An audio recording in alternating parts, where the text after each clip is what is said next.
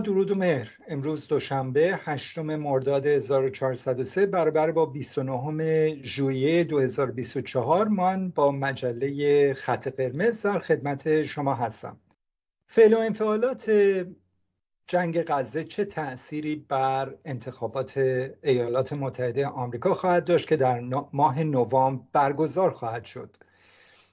همونطور که بینندگان ما مطلع هستند ظرف روزهای اخیر ما شاهد تشدید تنشها در منطقه بودیم. بعد از حادثه که در دیرالمجد اتفاق افتاد و تعدادی از دانش آموزان روز در اثر یک حادثه موشکی کشته شدند.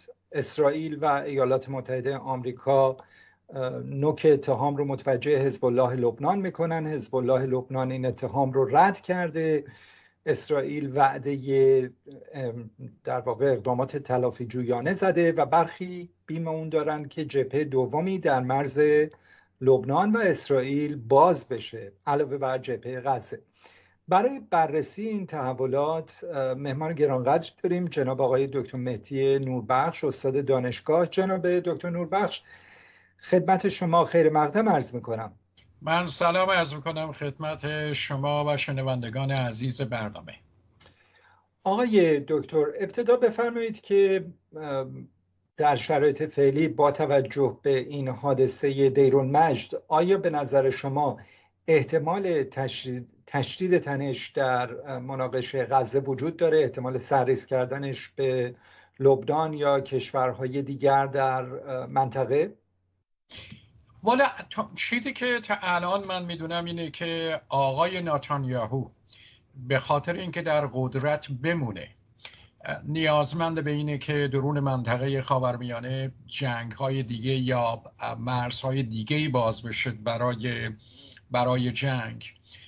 به خاطر که کسانی که در اطلاف آقای ناتانیاهو هستند اصولا سالهای پیش راست افراطی به این جنبندی رسید که هر گونه صلحی در سرزمین فلسطین به نفع راست افراطی در کشور اسرائیل نیست. یعنی اسرائیلی ها اگه بتونن که این جنگ روانی رو در دست داشته باشن و بتونن دشمن تراشی بکنن قلوب در دشمنان خودشون بکنن نه تنها در در صحنه سیاست اسرائیل می‌تونن در قدرت بمونن که کمک های خارجی رو هم می‌تونن بگیرن. حالا چیزی که الان هست اینه که ناتانیاهو نهایت کوشش دارد می‌کنه که جبهه جدیدی باز بکنه. اما ما با دولتی در آمریکا روبرو هستیم که خیلی روابط خوبی با ناتانیاهو نداره و کوشش می‌کنه که جبهه جدیدی باز نشه توی منطقه خاورمیانه در حال حاضر. اشاره کردید به مخالفت دولت فعلی آمریکا با سریز کردن این بحران. اما همونطور که مطلع هستید منتقدان دولت آقای بایدن او رو به حمایت بدون قید و شرط و نامحدود از موضع اسرائیل متهم کردند. در همین حادثه دیرالمجد در حالی که کشورهای اروپایی اتحادیه اروپا خواستار تحقیقات مستقل شده در رابطه با اینکه اساسا چه موشکی بوده که به این در واقع میدان بازی دانش آموزان برخورد کرده. آمریکا کمتر از 24 ساعت بعد از این حادثه گفتش که نه به احتمال قوی این حزب الله بوده و پیشتر هم موارد دیگری بوده. به عنوان مثال اون قرائت هایی که دولت اسرائیل ارائه می کرده از پختن بچه ها در زمان حمله حمله تروریستی هفتم اکتبر حماس. یا نمی‌دونم موارد تجاوز به عنف و امثال هم که بعدا مشخص شد که مبنای درستی نداره. اما همون موقع آقای بایدن گفت من اصلا شواهدی دیدم که اینا رو تایید می‌کنه. چرا به نظر شما از کجا استنباط میفرمایید که دولت آقای بایدن میانه خوبی با آقای نتانیاهو نداره؟ ببینید در طول این ماجرا دولت آقای بایدن شروع کرد به کمتر اسلحه دادن. اسلحه رو دو مرتبه بردن بالا. الان بسیار در حقیقت تنش دارن سر مسئله آتش بس اسرائیلی زیرا آتش بس نمیرند. دولت بایدن نهایت کوشش دارد می‌کنه که از طریق قطر و مصر اون رو به سرانجامی برسونه. همه اینها دلیل برای نمیشه که دولت بایدن از ابتدا در مورد اسرائیل اشتباهات فاحشی نکرده. اتفاقا یکی از مشکلات دولت بایدن در حال حاضر با بخش جوان این کشور با بخش لیبرال این کشور که بسیار طرفدار فلسطین هست همینه که دولت بایدن از ابتدا ندونست که چگونه با دولت ناتانیهو به هر بار بر رو در رو بشه. اینه که ببینید به سه دلیل دولت بایدن نمی‌خواد که در حال حاضر و این کمک هم بکنه. بعدا به ترامپ که می‌رسیم ببینیم که به هر بار بحثا کجاست. دولت بایدن در حال حاضر نهایت کوشش رو می‌کنه که تنشی درون منطقه خاورمیانه شروع نشه. به سه دلیل. دلیل اول اینه که توجهات از اوکراین به خاورمیانه نیاد. مسئله دوم قیمت نفته که اگه درون منطقه خاورمیانه حتی با ایران وارد تنشایی بشن قیمت نفتی که آمریکا تونسته تا الان کنترل بکنه و دیدید که در همین چند روز گذشته باز قیمت نفت اومده پایین. این ممکنه که در حقیقت بره بالا. و سوم اینکه کشورهای عربی منطقه اصلا نمی‌خوان که آمریکا با ایران یا با هیچ کشور دیگه وارد جنگ بشه. دولت بایدن نهایت کوشش رو کرد که عربستان سعودی رو راضی بکند که یه رابطه یعنی اسرائیل رو به رسمیت بشناسه ره به جایی نبود به خاطری که دولت بایدن بر این باور بود که اسرائیلی ها قبول بکنند که به طرح دو دولت تن بدن. اما در جولای همین امسال کنست اسرائیل یک دونه قانون را پس می‌کنه. مصوبه قانونی هست که به هیچ وجه دولت اسرائیل اجازه نمی‌دید که یک کشور فلسطینی پهلوی اسرائیل به هر بار تشکیل بشه. اینها همش تنش درست می‌کنه. درسته که دولت آقای بایدن بیش از حدی که تصور می‌کرد حمایت کرده از دولت اسرائیل اما سر آتش بس سر طرح دو دولت اینها به هر بار مشکلات الان دارن در حال حاضر که دولت هریس حالا هریس هم که بیا سر کار همین الان دارن کوشش می‌کنن که زودتر از اینکه دولت بایدن بایدن به پایان برسه دولتش بتونن که این آتش بس رو به جایی برسونن. کمک ها یک طرفه تحت فشار راست افراطی در آمریکا اما هر بار تنش هم وجود داره خصوصا سر سیاستی که سالها دولت آمریکا پشت سر اون بوده طرح دو دولت که نتانیاهو اصلا زیر بار نمی‌خواد بره و الان اینکه آتش بس هم مشکل اسرائیلی ها رو دارد مشکل حماس رو ندارد مشکل اسرائیلی ها رو الان دارد و اینها هر دوتاش به هر بار تنشی هست که بین این دو دولت در حال حاضر هست. آقای دکتر قبل از اینکه برسیم به تاثیر و تأثیری که بحران خاورمیانه بر انتخابات آمریکا می‌ذاره اشاره کردید به بحث آتش بس و تلاش که دولت آقای بایدن در دست انجام داره.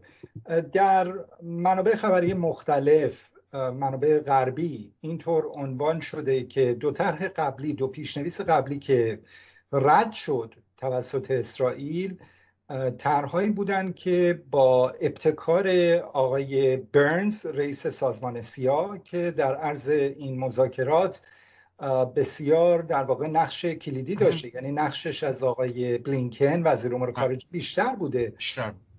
رد شدن توسط اسرائیل و توسط محفل اتفاقا آقای بلینکن و آقای سالیوان. اونه ای که خیلی از منابع نوشتن که ما شاهد یک خونساسازی تلاش های دیپلماتیک خود آمریکا بین محفل آقای برنز و محفل در واقع آقای سالیوان و آقای بلینکن هستیم. یعنی آقای بلینکن و سالیوان دارن تلاش های آقای برنز رو خونسا می‌کنن. آیا به نظر شما این دو دستگی وجود داشته این تعابیری که حالا در برخی از منابع خبری آمده و اگر اینطور باشه اصلا دولت آقای بایدن در این مدت باقی مانده شانسی داره واقعا برای اینکه بتونه آتش بسی برقرار بکنه. والا جناب منظفر و بزرگوار من این اختلاف رو نمی بینم به خاطر اینکه اصولا آقای برنز انتخاب شد.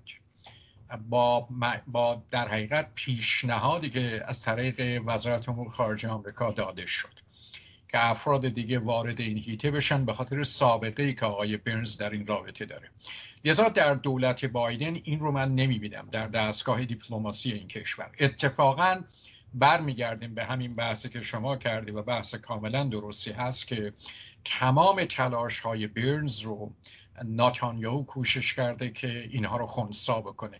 و این یکی از تنش های بسیار بالایی هست که در حال حاضر بین دولت بایدن و دولت ناتانیاهو هست. شما می‌دونید که وقتی که ناتانیاهو دعوت شد به واشنگتن دولت بایدن رو دعوت نکرده بود. جمهوری خواه رو دعوت کرده بودند که مثل باز یه سخنرانی که آقای ناتانیاهو می‌کنه زمان اوباما بتونن که از این سوژه استفاده بکنن. و در این در حقیقت در کنگره خانم نانسی پلوسی حاضر نشد. بسیاری از دموکرات ها حاضر نشدند و خانم خود خانم کملا هریس هم اون روز شرکت نکرد. اینها همش نشون میده که به هر بار تنش های بالایی هست. البته آقای ناتانیاهو ملاقات می‌کنه با آقای بایدن.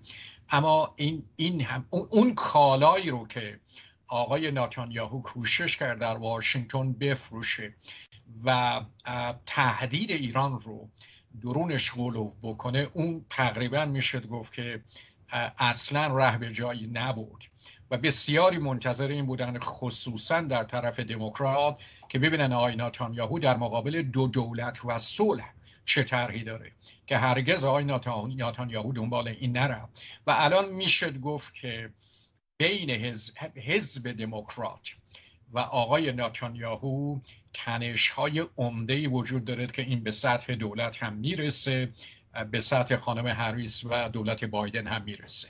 به خاطری که اصولا اینم در طول چند ماه گذشته روشن شده که ناتانیاهو اصلا به دنبال طرح صلح و دو دولت نیست. یعنی راست افراطی هرگز به دنبال این نیست که طرح صلحی بریزه. و عربستان سعودی هم برای همین بار زیر بار برای همین زیر بار دولت بایدن نرفت که کشور اسرائیل رو به رسمیت بشناسه. و این تقریبا این تلاش که دولت بایدن کرده بود میشه گفت که این تلاش هم متوقف شد و الان وضع خاورمیانه به شکلی هست که ما الان داریم می‌بینیم. خب حالا می‌رسیم به طبعات احتمالی ادامه جنگ برای نتایج انتخابات پیشرو در نوامبر آمریکا. همونطور که جنابالی به درستی اشاره کردید دولت آقای بایدن بسیار تلاش داره که این جنگ رو به یک آتش بسی برسونه به عنوان یک پیروزی دیپلماتیک و این بتواند که از موضع حزب دموکرات در این انتخابات یا باعث تقویت موضع حزب دموکرات بشه یه مقدار زیادی از منتقدین جریانات پروگرسیو یا مسلمانان رو در ویسکانسین و نمی‌دونم جاهای دیگه میشیگان بله. میشیگان اغنا بکنه که به حزب دموکرات رای بدن به خانم هریس رای بدن. به نظر میاد که آقای نتانیاهو تمام تخم مرغای خودش رو امروز در سبد آقای ترامپ چیده. بله. با وجود اینکه آقای ترامپ کاندیدای مطلوب لابی اسرائیل نبود در آغاز این رقابت ها و همونطور که دیدید مثلا بسیاری از حامیان اصلی که متصل به لابی اسرائیل هستن از خانم از خانم در واقع اسمشون چی بود؟ سفیر سابق ایالات نیکی هیلی نیکی هیلی. هیلی. از خانم نیکی هیلی حمایت می‌کردن و خانم نیکی هیلی هم موضعش جنگ با ایران بود. هنوز هم بله. هست. و در واقع آقای ترامپ به نوعی تحمیل شده به لابی. به نظر شما آقای نتانیاهو برای اینکه تاثیر بذاره روی شانس آقای ترامپ این جنگ رو ادامه خواهد داد تا نوامبر؟ حالا به احتمال بسیار زیاد می‌دونی که در سفری که آقای ناتانیاهو به کالیفو به, به, به, به حالا نمی‌دونم کجا بود در فلوریدا بود که آقای ترامپ رو ملاقات می‌کنه این شکایت رو به ترامپ می‌کنه که دموکرات ها با اسرائیل راه نمیان. این یکی از صحبت هایی بوده که در این سفر بوده و آرزو می‌کنه که ترامپ انتخاب بشه. من خدمتون عرض بکنم که ترامپ فرق فاحشش با دموکرات ها اینه که درون منطقه خاورمیانه آقای ترامپ از سیاست های خارجی دولت آمریکا رو می‌خواد به گونه چینش بکنه که منافع اسرائیل و منافع کسی دیگه در حقیقت منظور داشته باشه. یعنی به دنبال یک بازی برد باخته. و این خیلی فرق فاحشی داره با دولت دموکرات که کمک به فلسطینی ها می‌کنه می‌خواد که رابطه آمریکا با کشورهای عربی منطقه قدرتمندتر بشه. و اینکه ترامپ از دریچه اسرائیل و منافع اسرائیل سیاست آمریکا رو درون منطقه خاورمیانه می‌بینه این یک پدیده بسیار بسیار خطرناک است. ناتانیاهو این رو خوب می‌دونه. من خدمتون عرض کرده بودم که وقتی که دولت ترامپ سر کار میاد برای اولین بار هست که سیاست خارجی آمریکا برون سپاری میشه. برون سپاری به آقای ناتانیاهو جرد کوشنر داماد آقای ترامپ و پومپیو. این سه نفر هستن که برنامه ریزی می‌کنن طرح صلح ابراهیم از همین در زاویه میاد و بحثای دیگه. اینه که این رو آقای ناتانیاهو خوب می‌دونه. خوب می‌دونه که به هر بار اگه دولت ترامپ سر کار بیاد مجددا قدرت خودش رو می‌تونه تثبیت بکنه درون اسرائیل و به این مناقشات دست بزنه. و اصولا خیلی هم براش مهم نیست که حالا با عربستان سعودی و کشورهای دیگه دولت اسرائیل دارم میگم رابطه داشته باشه یا رابطه نداشته باشه. اینه که خطر آقای ناتانیاهو و ادامهش اینه که الان من دیروز داشتم جناب منزپور آماری میخوندم. 72 درصد مردم اسرائیل می‌خوان که ناتانیاهو از قدرت کنار گیری بکنه. اما اعتلافی که نتانیاهو درونش هست می‌دونه که اگه به هر بار راست افراطی براشون نباشه محافظه کاری نباشه که با خشونت با فلسطینی ها حالا رو در رو نشه این اعتلاف به هم میریزه و دولت نتانیاهو به هر بار فروپاشی میشه. لذا من کاملا با شما موافقم که نهایت کوشش نتانیاهو دارد می‌کنه که جبهه دیگه ای در جنگ باز بشه به خاطر که الان در در غزه که هر کاری اسرائیل می‌خواست بکنه کرد اما نتونست نهایتا حماس رو به عنوان یک قدرت نظامی شکست بده. حالا در دریچه های دیگه جبه های دیگه می‌خوان باز بکنن. خطر جبه های دیگه اینه که اگه جنگ الان من دیروز خبرها رو حتما شما دنبال کردید که بسیاری از جنوب لبنان دارن کوچ می‌کنن به بخش های دیگه لبنان. خطر اینه که اگه ناتانیاهو وارد یک چنین تنشی بشه با حزب الله که حزب الله خوب می‌دونه برای همین هم میاد بلا فاصله تکسیب می‌کنه و نمی‌خواد که جنگ از یه چارچوب هایی در حقیقت بیرون بره. اینه که امکان اینکه لبنان رو به جنگ های داخلی مجددا بکشه بسیار بسیار شانسش بالاست. و حسن, حسن نصرالله این رو خوب می‌دونه به خاطر که گروه های مختلف لبنانی به حسن نصرالله گفتن که جنگی با اسرائیل نمی‌خوان. اونم نهایت کوشش رو داره می‌کنه که در همین چارچوب نگهش داره. اما شما بهتر از من می‌دونید که جنگ رو هر دو طرف براش تصمیم نمی‌گیرن. جنگ رو یک طرف ممکنه که براش تصمیم بگیره. این مشکلی هست که در ایران متاسفانه این تئوری دارد که نه مذاکره و صلح و نه جنگ. و مشکل این مسئله اینه که شما می‌تونید برای صلح برنامه ریزی بکنید اما برای جنگ ممکنه کسای دیگه برای شما برنامه ریزی بکنن. همان گونه که ترامپ با زدن ترور آقای قاسم سلیمانی ایران رو تا مرز در حقیقت جنگ بود و اگه ایران در این رابطه پیش دستی نکرده بود در حمله به عین الاسد که آمریکایی رو مطلع کرده بود به, به طور قد جنگ مرزهای ایران می‌کشید. که این رو من با تمام مخالفتی که با سیاست های ایران دارم شما می‌دونید. من این رو واقعا در حقیقت سپاس گفتم برای این تصمیمی که به هر بار نگذارن که جنگ مرزهای ایران کشیده بشه. آقای دکتر سوال دیگری که مطرح میشه البته الان نظرسنجی همونطور که اطلاع دارید نشون میده که خانم هریس داره فاصله خودش رو با آقای ترامپ کم می‌کنه در برخی از ایالتهای رقابتی در واقع شانه به شانه هم هستن در بله. یکی دو تا ایالت حتی جلوتر هستش از آقای بله. ترامپ ولی با این حال احتمال این هستش که در واقع آقای ترامپ انتخاب بشه ما برای نخستین بار در بعد از انقلاب که انتخابات ریاست جمهوری ایران قبل از انتخابات ریاست جمهوری آمریکا برگزار شده و عملا دولت جدید ایران دولت آقای دکتر پزشکیان یک رویکردی رو اعلام کرده که رویکرد مذاکره محور هستش احیانا برای احیاء برجام یا توافق جامعه تری در اون راستا. و امثال هم ولی اگر آقای ترامپ به قدرت برسه با توجه به اینکه آقای ترامپ به حال فرمان ترور ژنرال سلیمانی رو صادر کرده و بسیار سخت هستش برای دولت مردان ایرانی که با او وارد مذاکره بشن. در اون شرایط شما به نظرتون چه موانع و چه چالشهایی ایجاد خواهد شد؟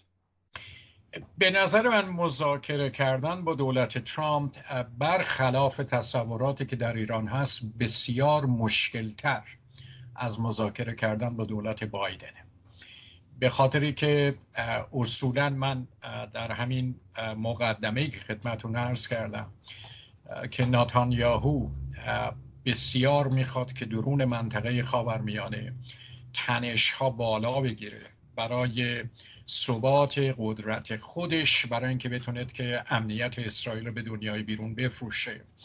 و هیچ نگران این نیست که حالا قیمت نفت بره بالا و مسائل از این قبیل.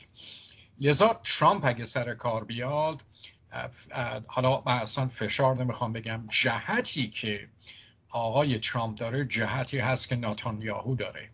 و این جهت اصولا ابایی از این نداره که یا ابا که اصلا تشویق می‌کنه. که دولت ایالات متحده آمریکا وارد یک تنش جنگی با ایران بشه. البته من این رو خدمتون عرض بکنم که این تنش جنگی به تعبیر این نیست که یک جنگ بگه تمام ایاری درون منطقه خاورمیانه شکل بگیره. اما اینها می‌تونن که در حقیقت مراکز صنعتی استراتژیک ایران رو بزنن و بسیار بسیار پدیده خطرناک هست برای ایران. اون کسانی که فرصت رو دریافت نکردن در ابتدای دولت رئیسی که با آقای بایدن وارد مذاکره بشن این ماجرا رو بهش در حقیقت چه میگن؟ اصولا خبری از دنیای راستی افراطی در آمریکا نداشتن که بسیار بسیار پدیده خطرناک هست. این راست افراطی دستش در دست کشور اسرائیل و یک فرقی که راست افراطی در آمریکا می‌کنه با اروپا اینه که راست افراطی درون آمریکا مذهبی هم هست. یعنی کلیساهای اونجلیکال پشت سرش هستن و خود این به هر بار یک اسلحه یک اسلحه تحمیق رو هم در دستشون دارند که می‌تونن به هر بار بسیاری به پوشوانه یک جنگ با ایران وادار بکنن. پدیده ترامپ بسیار پدیده خطرناکی و من امیدوار هستم اگه ترامپ سر کار بیاد من صد درصد فکر می‌کنم که ایران دیگه اون فرصت هایی رو که در زمان آقای بایدن در این فرصت ها رو نداشته باشه. من پیشنهادم اینه که حالا خبرها هم داشتم که یه چنین چیزی هم هست. دولت پزشکیان در ایران پیشنهاد بکنه و بلافاصله وارد مذاکرات بشه حتی در این چند ماهی که برای دولت بایدن مونده. که هر بار یک توجیه کاملا مشروعی برای ایران باشه که آقای پزشکیان به دنبال اینکه اعلام می‌کنه که می‌خواد با دنیا تعامل داشته باشه حرکتش را کرد و وارد در حقیقت یه چنین کنشی شد با دولت آمریکا. من امیدوارم که یه چنین کنش هرچه زودتر شروع بشه. در امتداد این فرمایش شما شایعه که نمیشه گفت شنیده هایی وجود داره مبنی بر اینکه برخی در تیم دیپلماسی ایران اعتقاد دارن که در عرض همین 90 روز باقی مانده تا انتخابات آمریکا ایران خوبه برای اینکه شانس خانم هریس رو تقویت بکنه.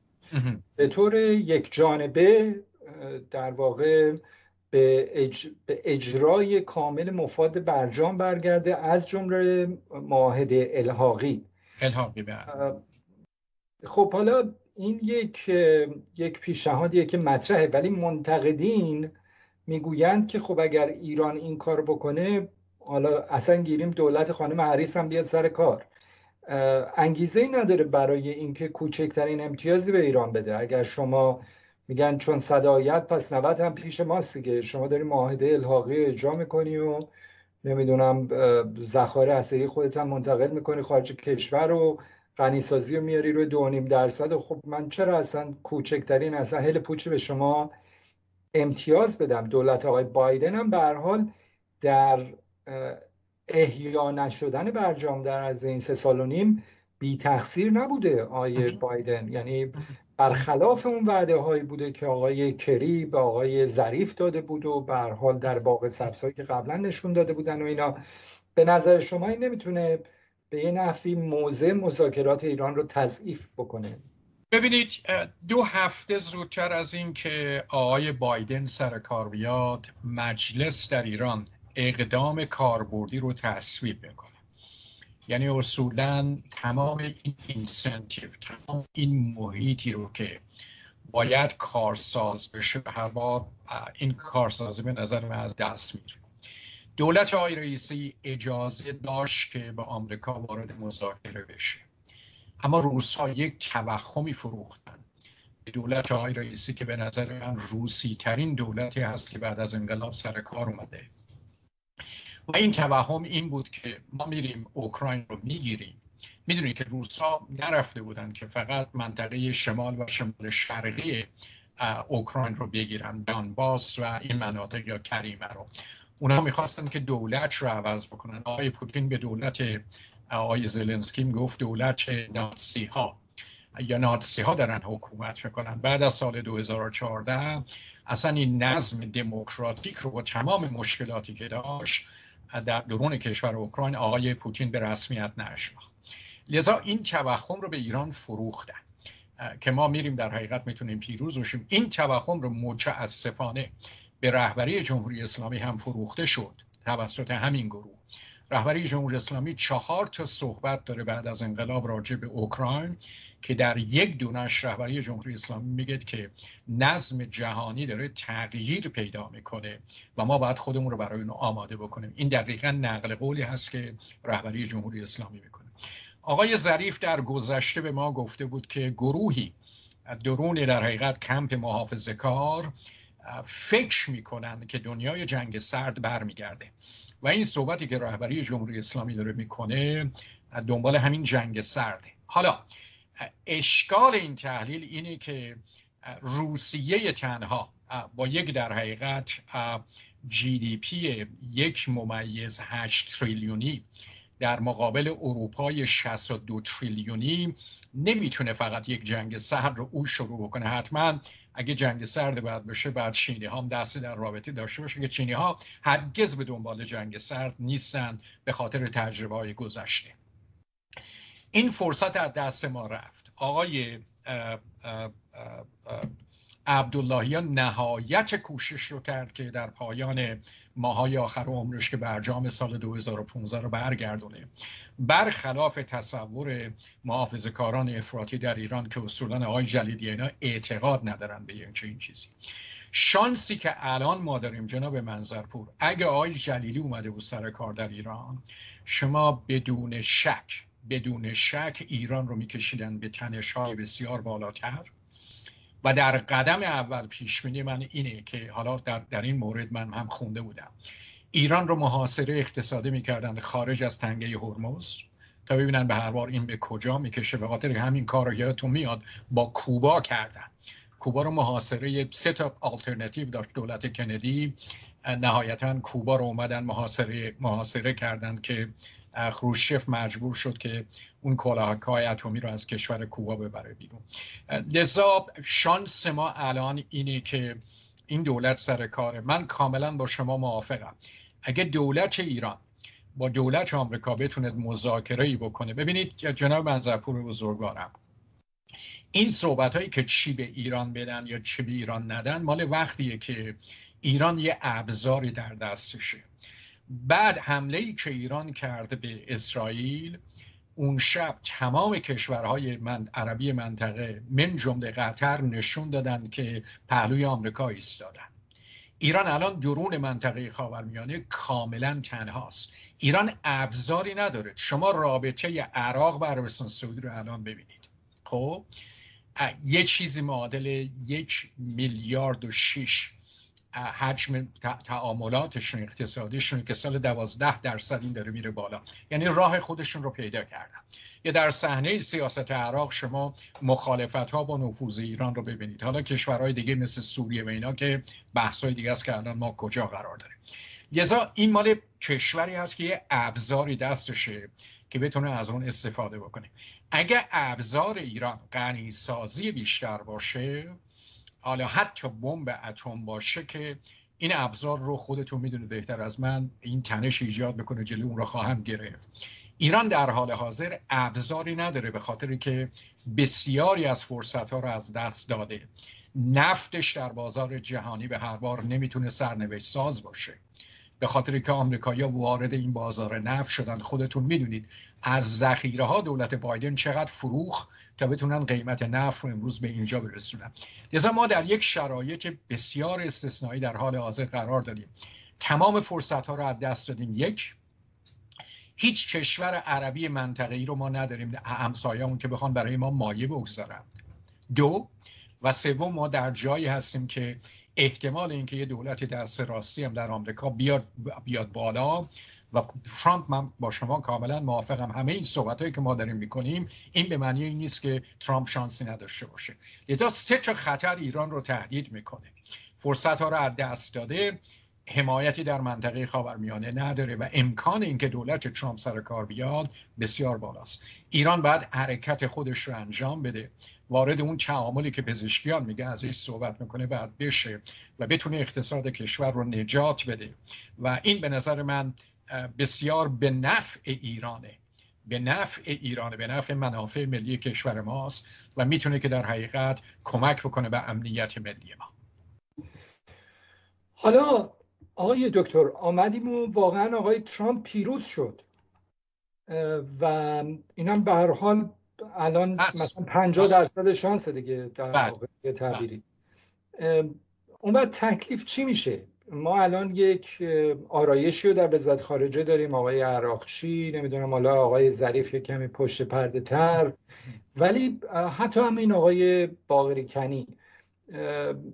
اینا روی کردشون بازگشت به مذاکره هستش. ولی خب اگر ترامپ پیروز بشه گزینه های ایران چه خواهد بود؟ آیا جمهوری اسلامی می‌تونه که بحث ترور آیه سلیمانی رو کنار بگذاره اساسا بذاره رو تاخچه و با آیه ترامپ وارد مذاکره بشه؟ اگر بشه اساسا آیا در واقع اون چشماندازی وجود داره برای اینکه بشه یه مقداری رفع تحریم کرد اساسا؟ با توجه به اون مناسبات بسیار نزدیکی که آقای ترامپ با اورشلیم داره با آقای نتانیاهو داره نمی‌دونم روابط آقای کوچنر.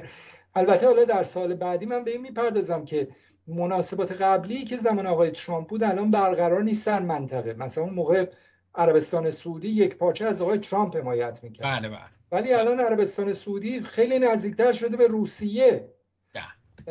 و بسیاری کشورهای متحد آمریکا در خاور میانه هم الان در صدد مثلا بهبود روابطشون با ایران هستن نگران حالا چه می‌دونم عدم غیر قابل اتکا بودن آمریکا هستن و امثال هم ولی قبل از اونها به نظر شما گزینه ایران چه هستش در صورت پیروزی آقای ترامپ؟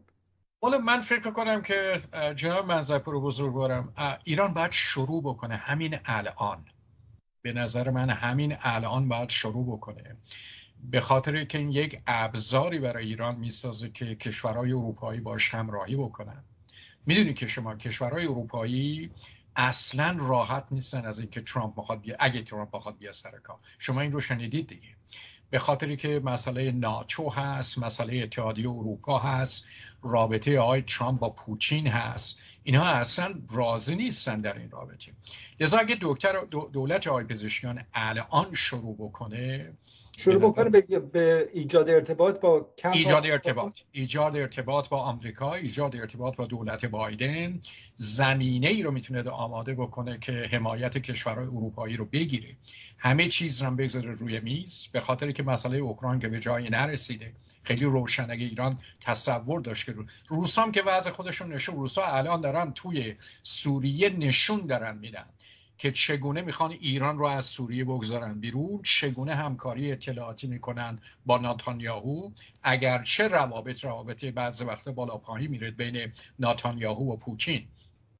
اما به نفع در حقیقت هر دو تا رهبره که منطقه خاورمیانه ثبات آنچنانی نداشته باشه. به خاطر که عدم بی ثباتی خب کشورهای غربی رو متوجه منطقه می‌کنه یه مقدار دورشون می‌کنه از اوکراین. برای آقای ناتانیاهو می‌تونه که سیمپاتی بخره. همه این بحثا که به هر بار ما می‌دونیم. دوزا اینا اهداف مشترک پوتین و ناتانیاهو که هر دوتایشون از از راست افراطی میاد من نظرم اینه که دولت ایران از همین الان باید شروع بکنه. منتظر انتخابات نباید دولت ایران بشه. ایران باید همان گونه که این ریسکی نداره آقای دکتر که ایران تمام تخم مرغاشو بذاره تو سبد در واقع خانم هریس بعد آقای آقای ترامپ بیاد with a vengeance.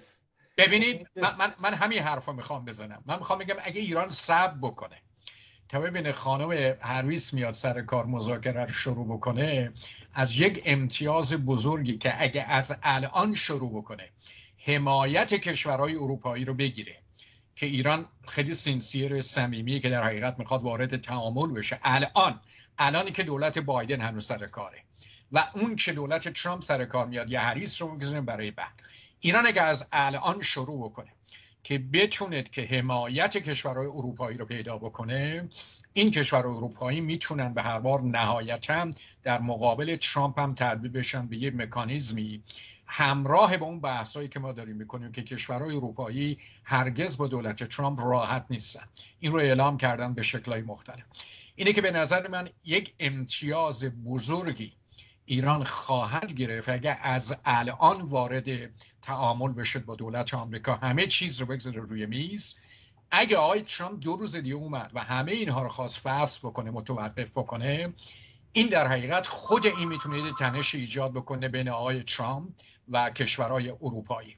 و اینم به هر بار پدیده ای هست که خوبه که بهش توجه بشه.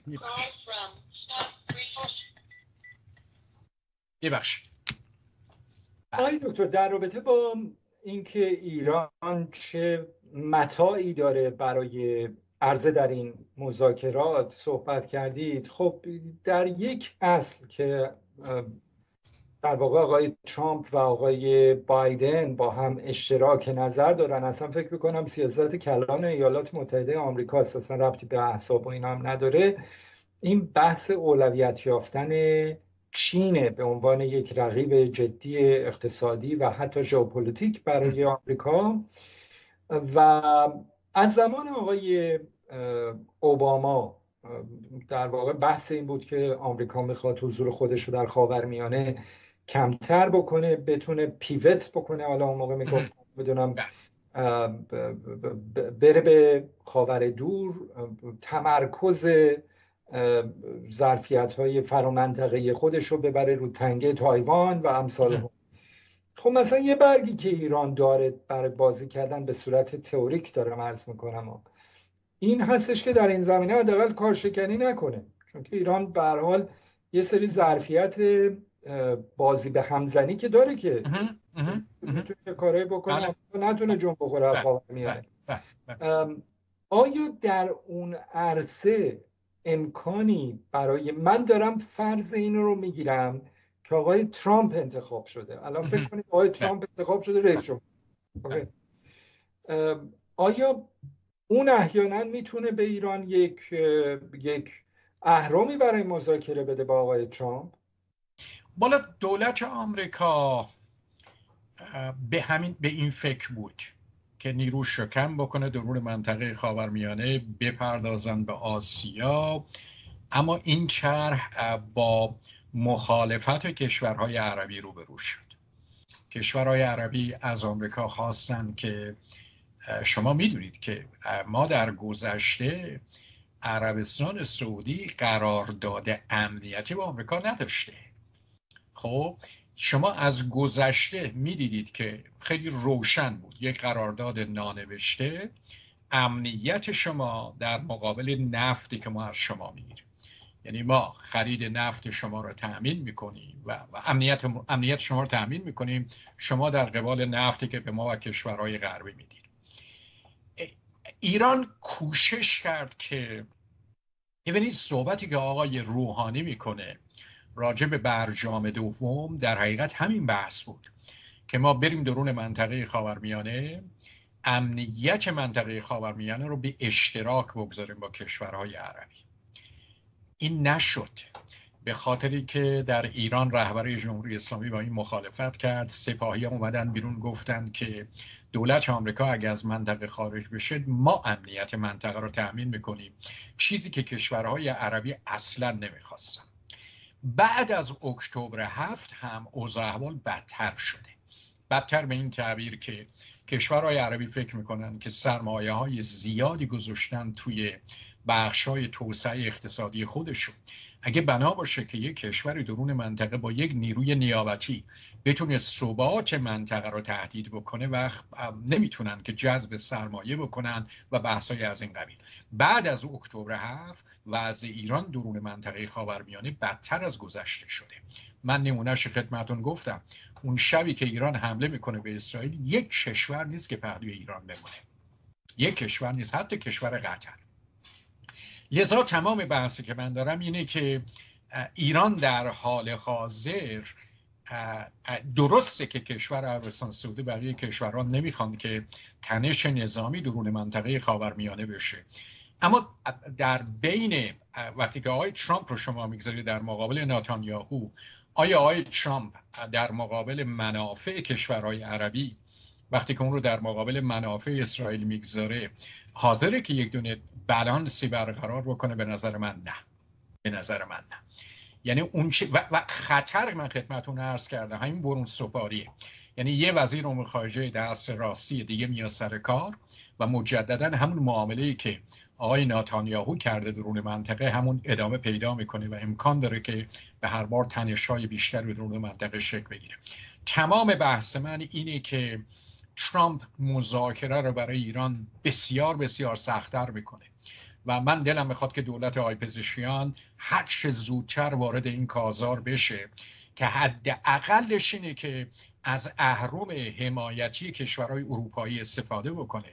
و اروپایی دو روز دیگه اگه ترامپ اومد سر کار بگن ایران منصفانه صادقانه یه هر چیزی اومد همه چیز رو گذاشت روی میز و حاضر بود که به برجام برگرده و بحثایی از این قبیل. تمام بحث من اینه که از این فرصت دو سه ماهه باید استفاده کرد. آقای دکتر تنها پنج دقیقه وقت داریم به پایان مصاحبه و من می‌خوام یک سوال بسیار چالشی از شما بپرسم. نگاه کنید همونطور که آقای آقای باقری کنی اشاره کردن در سخنرانی خودشون در شورای امنیت گفتن که اروپایی ها نمی‌دونم حالا به تعبیر ایشون 17 بار بود نمی‌دونم چند بار. گفتن که آقا ما حاضریم که طبعات خروج ایالات متحده از برجام رو برای شما خساراتش رو کمتر بکنیم سازوکارهایی فراهم بکنیم که به هر حال شما بتونیم بازرگانیتون رو انجام بدید نمی‌دونم اقلام حیاتیتون رو تامین بکنید و به هیچ کدام به گفته آقای باغری کنی به هیچ کدام از این تعهدات عمل نکردن همین پریروز حتما مسلسل هستید که نخست وزیر استرالیا، نیوزیلند و کانادا یه بیانیه مشترکی صادر کردند در رابطه با ضرورت پایان جنایات در غزه. در همین بیانیه مشترک به ایران تاخته شده به خاطر حمله موشکی به اسرائیل. یک کلمه به اسرائیل به خاطر حمله هوایی به در واقع کنسولگری ایران در دمشق پرداخته نشده. نگاه کنید این سوال فلسفی الان برای بسیاری ممکنه پیش بیاد که اساسا اگر قراره که همه این امتیازات داده بشه دیگه. حالا نمی‌دونم. اون ور برجام. اصلا ما نمی‌دونم برد موشک های بالستیکمون رو هم محدود بکنیم. یه سری تکنولوژی ها هم در اینا اصلا یک قلم رفع تحریم نکردن. خب وجود داره؟ ببین چرا من, من قبول دارم حرف شما رو که آدم وقتی که میشونه حسابگری می‌کنه این مشکلات رو می‌بینید. اما جناب منظرپور بزرگوارم حمایت ایران از پوتین در اوکراین کل این معادلات رو به هم ریخت. ببینید ما و, و ایران نهایتا نیمد بگه که ما نکردیم. آقای امیر عبداللهیان نهایتا حرفش این بود که این اسلحه ها رو ما زودتر از جنگ اوکراین فروختیم به کشور در حقیقت به کشور روسیه. ببینید بسیاری از این معادلات رو به هم زد. تمام بحث کشور اروپایی می‌دونید چیه؟ تمام بحث کشورهای اروپایی اصلا بحث ناتو و همه این حرف و بحث نیست. بحث کشورهای اروپایی اینه که اگه بنا باشه که یک دولت دست راستی مثل دولت پوتین بیاد یک کشوری مثل اوکراین رو بگیره فردا این تفکر راست افراطی در اروپا می‌تونه تمام نهادهای دموکراتیک رو و نرمای دموکراتیک رو در حقیقت به تهدید بکشه. لذا ایران در مقابل ایران پهلو یه چنین دولتی ایستاد. این کلی معادلات رو به هم زد. البته این حرف رو من نمی‌زنم که توجیه کرده باشم از کار اینا. کاملا کار نادرست. کاری که اسرائیلی ها کردن درون کشور سوریه و سفارت ایران رو زدن یک جنایت یک ترور دولتیه. در این در حقیقت هیچ بحثی نیست. هیچ بحثی من اینجا نمی‌تونم بکنم که کسی بخواد به هر بار چیزی رو توجیه بکنه. عرصه بین الملل عرصه نمیشه گفت که به اصلاح معادلات عادلانه است. نیست زمانی نیست. عرصه ای هست که شما از فرصت ها می‌تونید استفاده بکنید و کوشش بکنید که در جهت منافع خودتون ببینید که به هر بار چه کار می‌تونید بکنید. البته این منافع بعضی وقتا و منافع بقیه هم گیره می‌خوره که هیچ مشکلی وجود نداره. که شما به منافع مثلا امنیت درون منطقه خاورمیانه بلند بشید. ببینید یک کاری که ایران در طول سالهای گذشته کرده و رهبری جمهوری اسلامی اینه که هر دولتی که در عراق سر کار اومده از سفارش رهبری جمهوری اسلامی این بوده که دولت آمریکا را از کشورتون بگذارید بیرون. این سوال رو نکردن که چرا عراقی ها نمی‌خوان این کار رو بکنه چرا آقای سیستانی که می‌تونید با یه فتوای دو دقیقه ای جناب منظرپور این کار رو بکنه چرا تا الان نکرده؟ به خاطر اتحاد اتفاق داخلی کشور عراقه. سنی ها کرد ها نمی‌خوان که آمریکایی همین 2500 سربازشون از کشور عراق برن بیرون. به دلایل مختلف. درون منطقه خاورمیانه اگه شما به دنبال اشتراک اشتراک گذاشتن امنیت بودی؟ خب به جای اینکه توصیه بکنید که آمریکا از منطقه برد بیرون خب آمریکا اصلا درون منطقه برای چی برمیون چرا عربستان سعودی الان در سه زمینه داره با آمریکا صحبت می‌کنه امنیتش می‌خواد روی کاغذ بیاد. در حد ناچو توقع اینا داشتن که آمریکا قبول نکرده اما دارن یه قرارداد خیلی خوبی می‌گیرن. یک برنامه هسته آمریکایی‌ها بسازن برای عربستان سعودی که دارن یک کانورژن براشون می‌سازن نه در حقیقت غنی سازی که قبول کردن و سوم این که عربستان سعودی دسترسی داشته باشد به اسلحه های مدرن آمریکا. چرا باید یک کشور مثل عربستان سعودی به دنبال امنیت از طریق آمریکا باشه و اسلحه های در حقیقت آمریکایی؟ لذا اون صحبتی که شما کردید ببینید اینها به جایی الان رسیدن که دارن فهمیدن دنیا چند قطبیه. از این قدرت های بزرگ می‌تونن امتیاز بگیرن. این اتفاقا هوشمندی سیاست خارجی عربستان سعودی و کشورهای دیگه این منطقه است. این به تعبیر این نیست که به این سمت گرایش می‌کنن یا به اون سمت گرایش می‌کنن. اما امتیاز از روسیه معذرت خواهم از چین می‌گیره. در مقابل آمریکا به خاطر که بتوند منافع خودش رو تامین بکنه. ما این کار رو نکردیم. ما این کار رو نکردیم. سپاس فروان جناب آقای دکتر نوربخش. همچنین بینندگان گرامی که در طول این برنامه همراه ما بودید تا حدود یک و نیم ساعت دیگر که دوباره با برنامه هدلاین در خدمتون خواهم بود بدرود و ایام بکام.